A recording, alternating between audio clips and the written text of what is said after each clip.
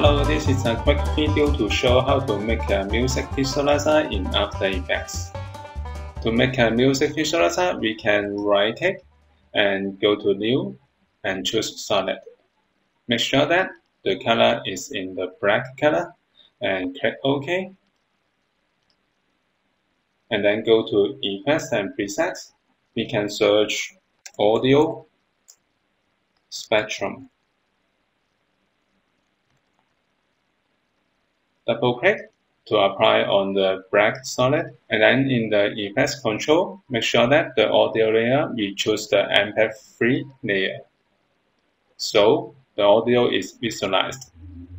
Now we can adjust the setting. For example we can choose the frequency band. I will increase it. And then we can increase the height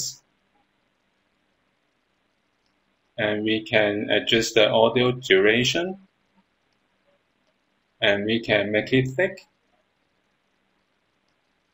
We can change its color. We can choose the display option. We can choose analog line. We can choose analog dots or I go back to digital. We can choose one side, another side, for both sides. Now I press the space to preview the music visualizer. This is how we can make music visualizer in After Effects. Thank you for watching this video. Hope this helped. Please subscribe this channel. More video will be shared with you. I'm Artist V. See you in the next video. Bye bye.